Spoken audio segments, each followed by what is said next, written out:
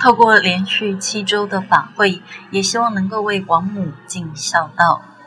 这场孝亲报恩、利益名扬法会，乃子女们为感念母亲张含新兰老菩萨养育恩德，家族全体动员为母亲做连续七周的法会，在最后一周圆满日，礼请到多位的法师来共同主法，举办大猛山施食。希望以此功德回向母亲。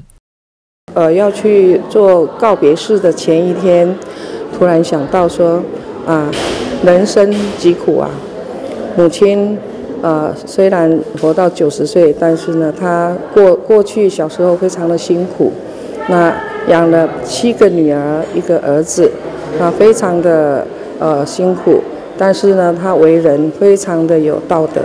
当然，我们我们的子女，我妈妈的子女姐妹们，我们姐妹都非常的对妈妈很孝顺呐。说实在，但是再怎么孝顺，也没有办法啊，在每天在她身边啊，这样一直照顾。所以，心心里面想说，妈妈既然往生，我想，哎，因为佛是非常的庄严殊胜，只有学佛才能够真正的往生西方极乐世界。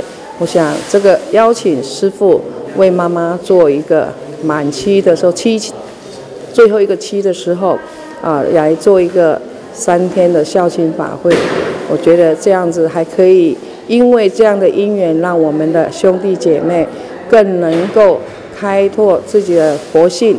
要为父母，不是说你在生活上只有给他，呃。呃，是呃物质上的一种啊一种呃满足啦。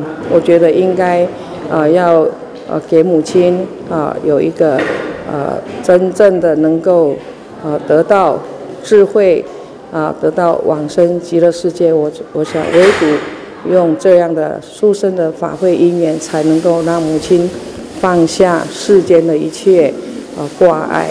真正得度往生极乐世界，阿弥陀佛。